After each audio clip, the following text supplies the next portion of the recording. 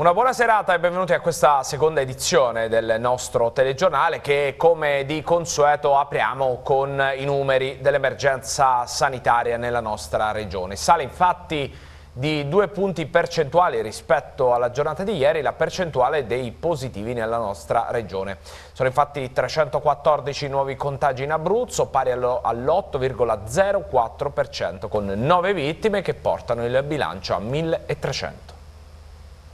Tornano a salire i dati dell'emergenza coronavirus in Abruzzo, sono 314 infatti i nuovi casi accertati con i test delle ultime ore, sono emersi dall'analisi di 3.905 tamponi, è risultato perciò positivo l'8,04% dei campioni, si registrano 9 decessi recenti, il bilancio delle vittime sale a quota 1.300, in aumento gli attualmente positivi, a fronte di un lieve calo dei ricoveri complessivi che passano dai 516 di ieri ai 508 di oggi, aumentano le terapie intensive positive. Dei nuovi positivi il più giovane ha 6 mesi e il più anziano 91 anni.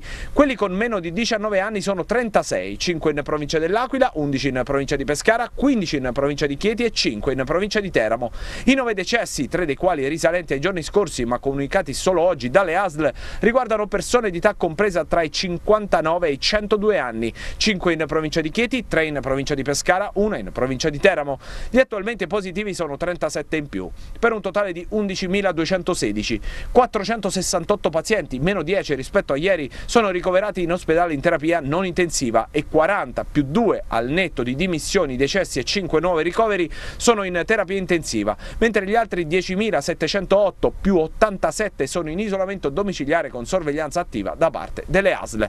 I guariti sono 25.823 più 226. La località con più nuovi casi è San Salvo, 22, seguita dall'Aquila e Pizzoferrato, entrambe con 17 contagi, 15 nuovi casi a Montesilvano e 14 a Pescara. Dei 38.339 casi complessivi in Abruzzo, 11.582 sono residenti o domiciliati in provincia dell'Aquila, più 56 rispetto a ieri, 8.366 in provincia di Chieti, più 142, 7.752 in provincia di Pescara, più 60, 10.152 in provincia di Teramo, più 48, 325 fuori regione, più 7 e 162 più 1 per i quali sono in corso verifiche sulla provenienza.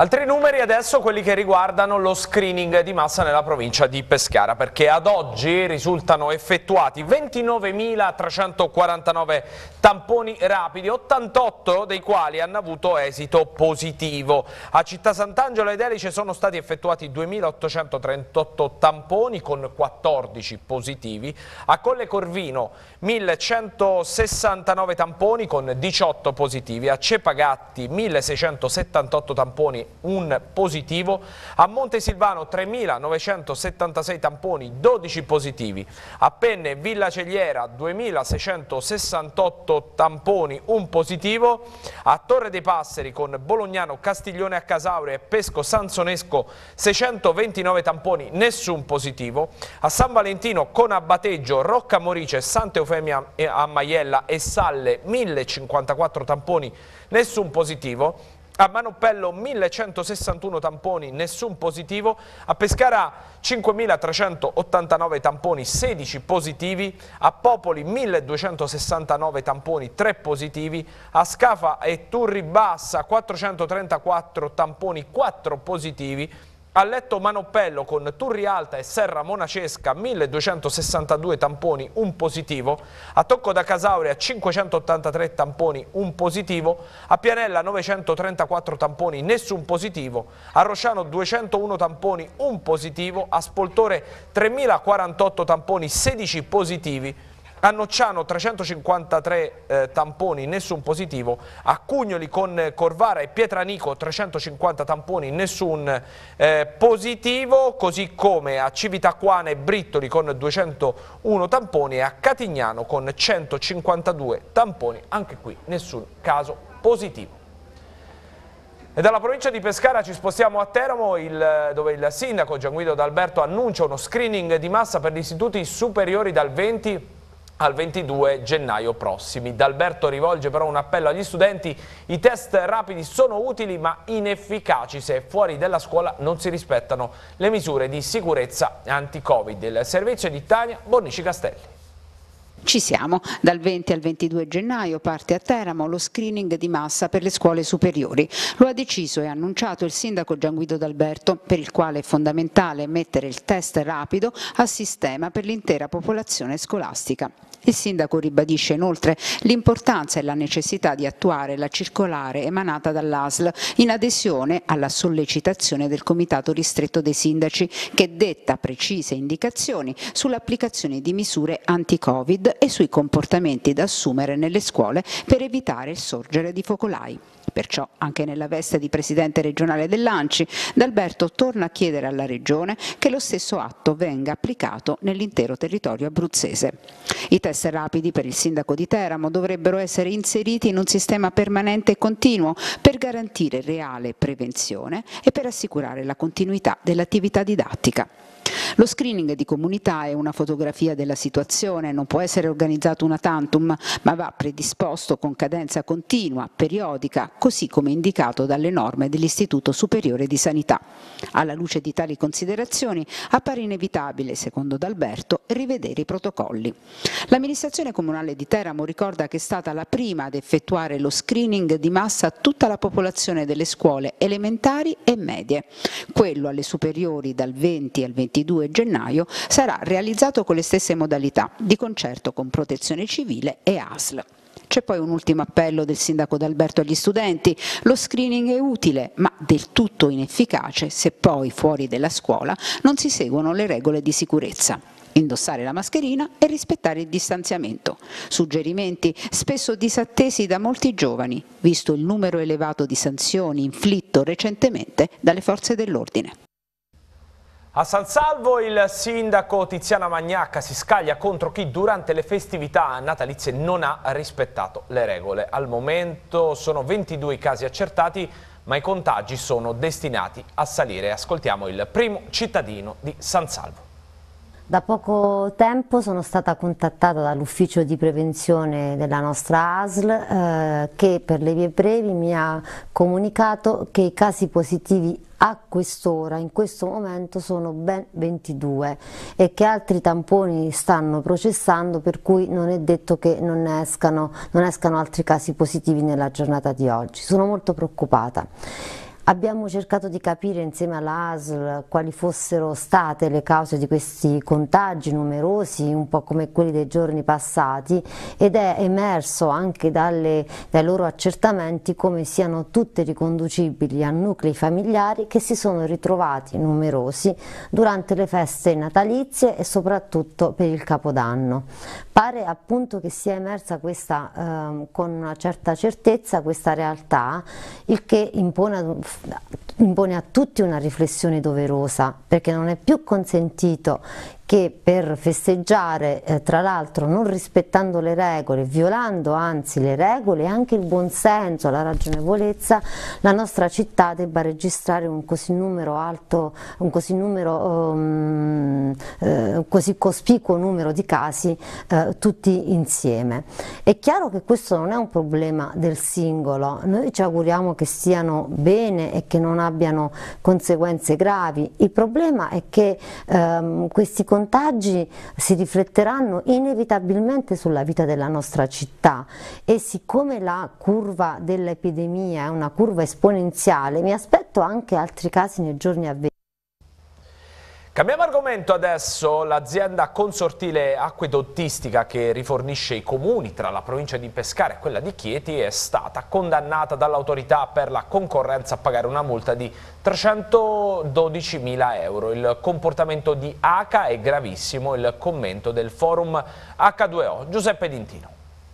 312.000 euro e la montare della multa a cui ACA, l'azienda consortile acquedottistica, è stata condannata dall'autorità garante per la concorrenza.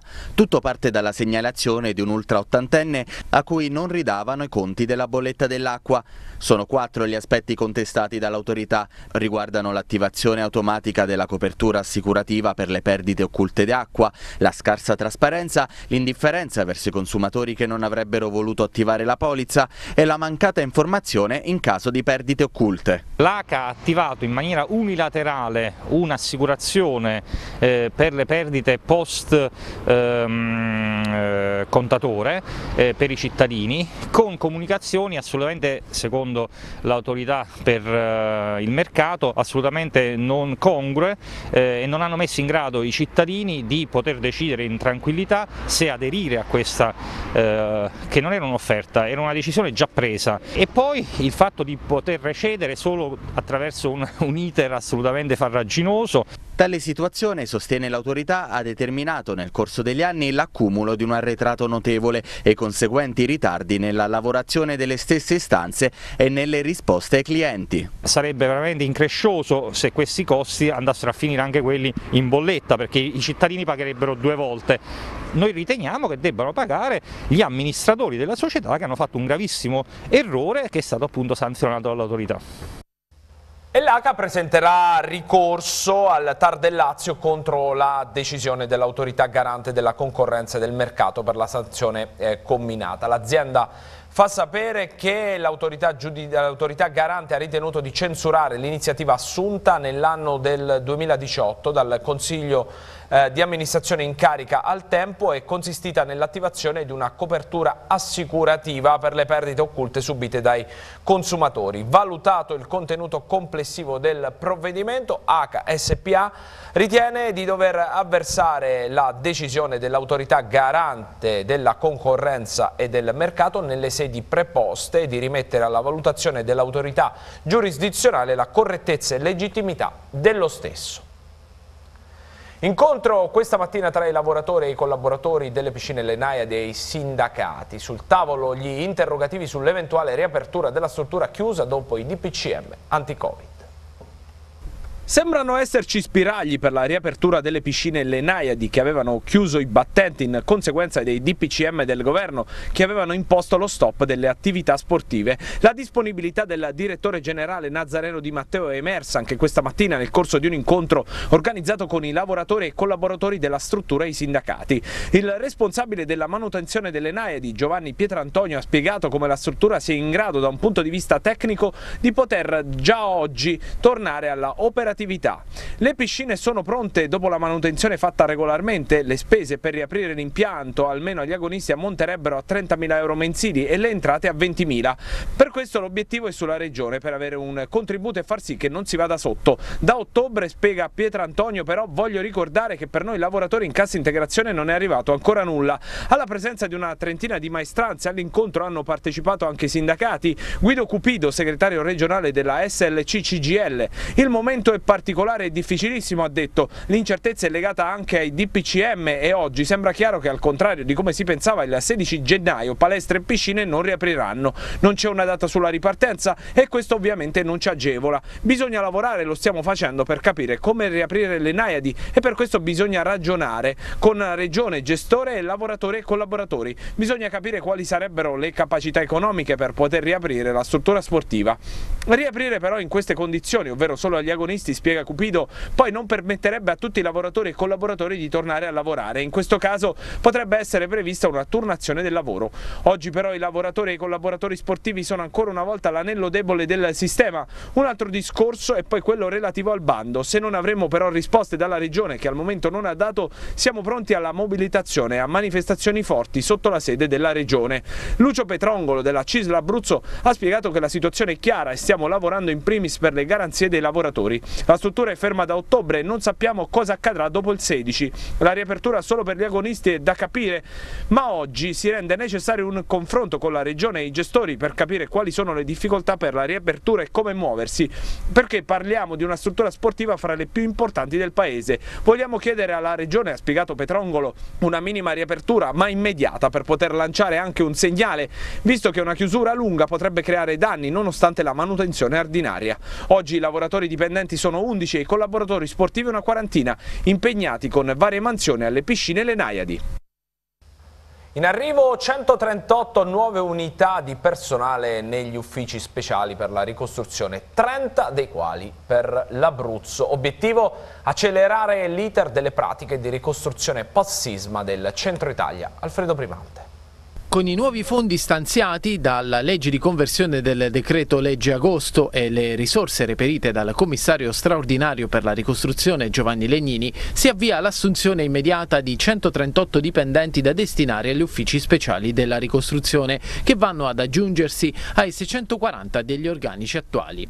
Si rafforza così anche la struttura del commissario straordinario con 12 nuove unità di personale e la nomina di due subcommissari per l'esercizio dei nuovi poteri straordinari in deroga per le ricostruzioni complesse Fulvio Soccodato e Gianluca Loffredo. Dei 138 nuovi tecnici in arrivo agli USR, 72 sono assegnati alle Marche, che è la regione che ha subito i maggiori danni, 18 vanno invece a Lazio ed Umbria e 30 all'Abruzzo, che recupera così il sottodimensionamento del passato. L'intesa sul riparto delle nuove risorse è stata raggiunta ieri dai presidenti delle quattro regioni su base di una proposta del commissario straordinario alla ricostruzione Giovanni Legnini che tiene conto dei carichi di lavoro attesi. Su 80.000 edifici censiti come inagibili dopo il sisma del 2016-2017, le istanze di contributo finora presentate sono 19.500. Le pratiche in lavorazione negli uffici speciali e nei comuni ed in fase di integrazione da parte dei tecnici, quindi non ancora giunte a conclusione, sono circa 12.000. I contributi richiesti ammontano a circa 4 miliardi e mezzo di euro, quelli già decretati ad 1,5, mentre le erogazioni effettive che procedono con lo stato avanzato avanzamento lavori nei cantieri sono pari a circa 700 milioni di euro. Le priorità per il 2011 vista la mole di lavoro sono tante. Oltre ai controlli sulle pratiche della ricostruzione privata, gli USR dovranno gestire sul campo alcune fasi fondamentali della ricostruzione pubblica e la redazione e l'attuazione dei programmi straordinari di ricostruzione nei comuni più colpiti, le opere da realizzare in deroga utilizzando i poteri speciali attribuiti al commissario. Spostati alcuni reparti della Santissima Annunziata di Chieti e i pazienti per curarsi devono andare fuori città. La ASL però non ha ancora speso la somma disposta da Roma per l'acquisto di nuovi macchinari. Pazienti teatini costretti a curarsi altrove. La sanità di Chieti è sempre più dirottata verso altri comuni e alcuni malati, anche oncologici, sono costretti a ricercare altrove cure e servizi che il Santissima Annunziata non può più fornire. Il diritto alla cura è anche alla cura con l'umanità e la comprensione delle problematiche che devono affrontare i malati che eh, sono deboli e, e fragili nel momento delle cure.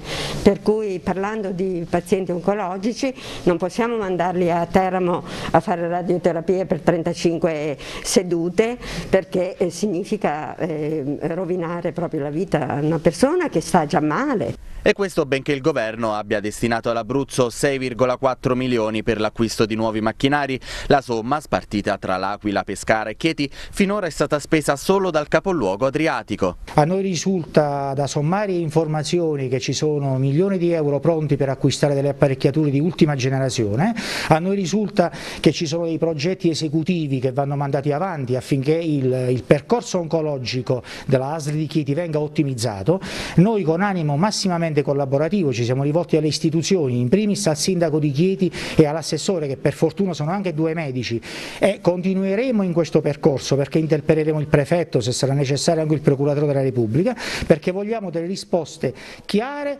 precise e concordanti, vogliamo soprattutto un cronoprogramma. E intanto il reparto di dermatologia va verso Ortona e quello di odontostomatologia si sposta a Lanciano. L'amministrazione comunale si schiera al fianco delle associazioni e sollecita la ASL.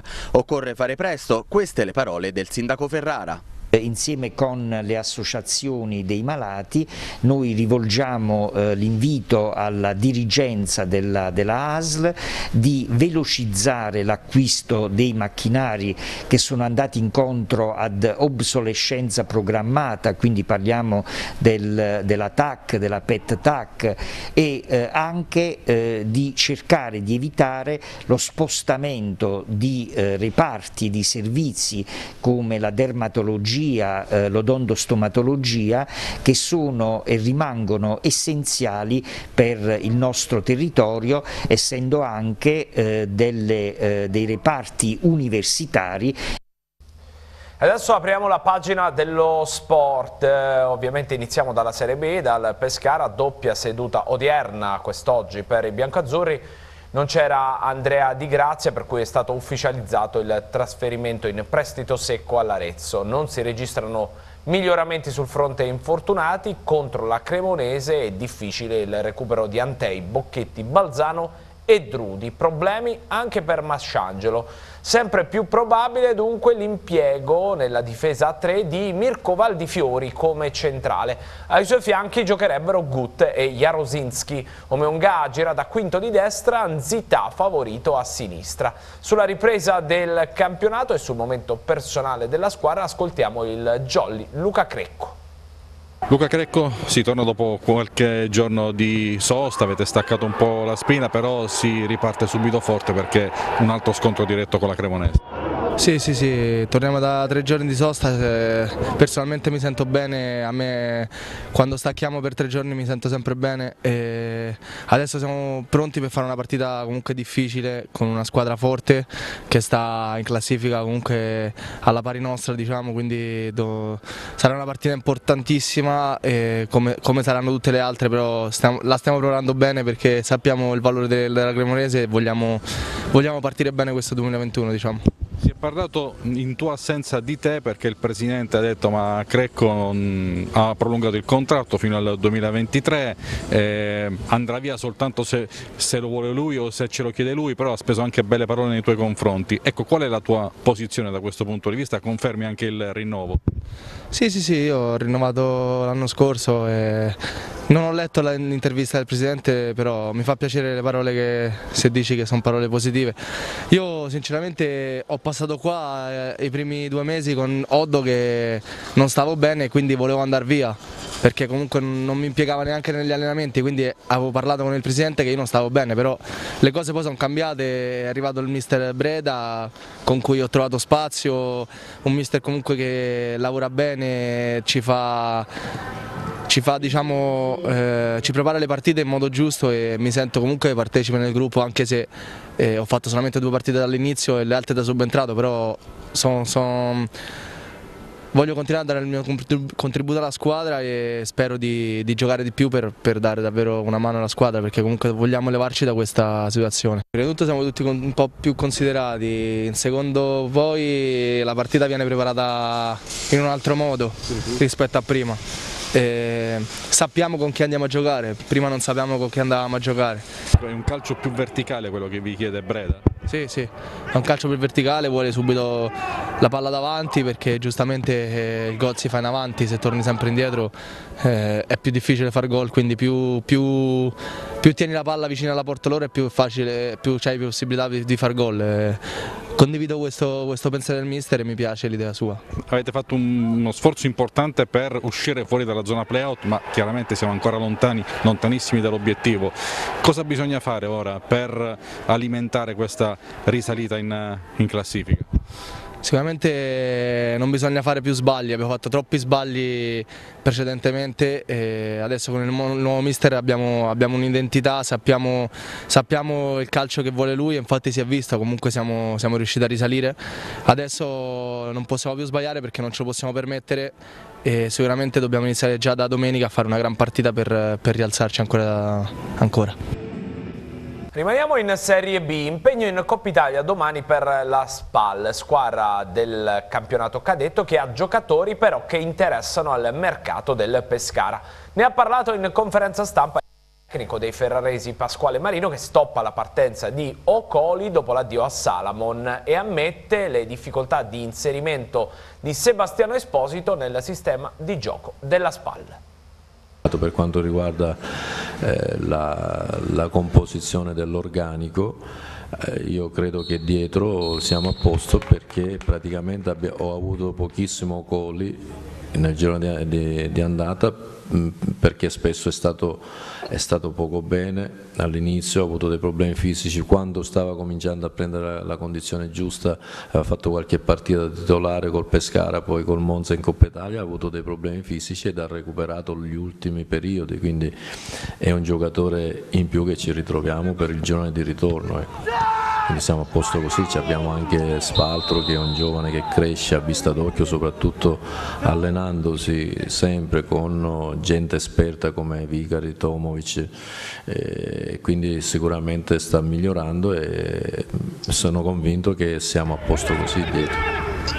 Sebastiano Esposito, eh, ultimamente è rimasto un po' ai margini, eh, c'è intenzione da parte sua, da parte della società, di eh, pensare ad una conferma oppure mh, si è già eh, optato, ormai si è già eh, deciso mh, di farlo ritornare all'Inter che poi deciderà il suo destino ed eventualmente domani potrebbe essergli concessa una chance?